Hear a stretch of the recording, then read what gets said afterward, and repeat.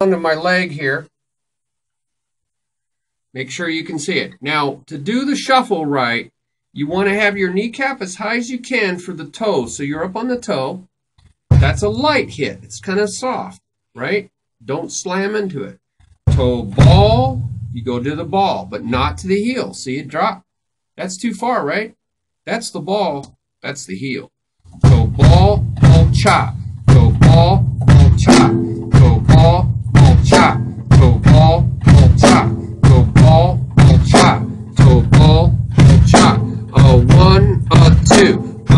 three, a four. A one, a two. See, notice that the beater does not leave the head.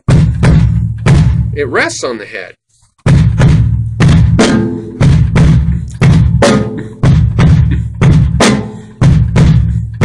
So that way the beater does not flop back and hit yourself in the pants. And also leg. so it won't go inside your pants.